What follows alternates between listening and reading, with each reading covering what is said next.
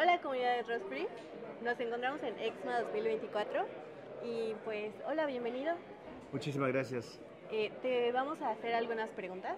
Mucho. Entonces, eh, ¿cuáles consideras que son las tendencias en innovación y negocios para este 2024-2025 que nos puedas contar? La palabra innovación en negocios es como yuxtapuesta. Claro, La innovación está dada en todo, es transversal. claro. Entonces, vamos a dividir las dos palabras, innovación y tendencias. Las tendencias que yo veo hacia futuro en el mundo de lo que estamos hablando hoy, que es mercadeo, negocios y emprendimiento, creo que tiene que ver con optimizar tiempo. Necesitamos optimizar tiempo. ¿Y qué significa optimizar tiempo? El tiempo es dinero, pero el dinero lo puedes crear después, el, el tiempo no lo puedes recuperar. Y hoy estamos realmente en un punto importantísimo del mundo en el que si tú aprendes las herramientas que están, vas a poder ahorrar ese tiempo y multiplicarlo exponencialmente. Y pasa muy rápido. Pasa con una cuenta que entiende cómo optimizar su contenido, utiliza inteligencia artificial, empieza a subirlo, lo sube a multiplataformas, lo optimiza y eventualmente la cuenta tiene muchos seguidores y las monetiza. Tengo ejemplos, pero creo que esa tendencia de optimización de tiempo va a ser supremamente importante y está dada por la tecnología en la cual existen muchísimas innovaciones. Claro, y justo eh, siguiendo esa línea, te queremos preguntar en tu experiencia, ¿cómo una persona, un, un líder puede liderar a su equipo hacia la innovación? Primero haciendo. Hay muchos líderes que dicen, eso ya lo, eso no, nunca ha funcionado así, siempre lo hemos hecho así, no conoce las herramientas y sin embargo, al no conocerlas, las rechaza. El líder moderno desaprende, primero, antes que aprender.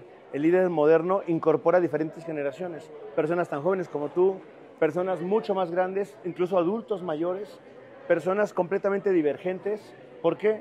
Porque no hay un punto de vista hoy. Y entre más puntos de vista sumemos, podemos encontrar que el liderazgo va a ser así, va a ser como estas aves en las que un pájaro ya no lidera, sino se voltean rápidamente, regresan y regresan hacia el otro lado. El liderazgo va a ser así.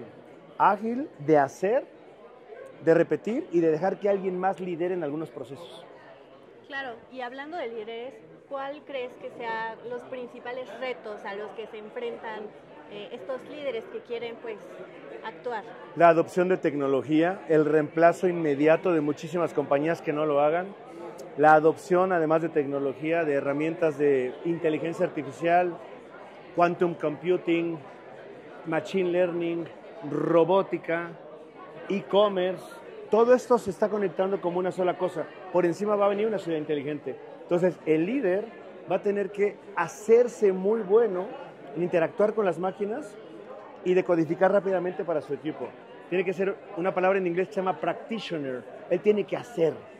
Antes un líder podía liderar y tenía un equipo y le decían jefe y tenía un subdirector y un gerente y era una organización inmensa. Hoy las organizaciones están haciendo recortes abismales.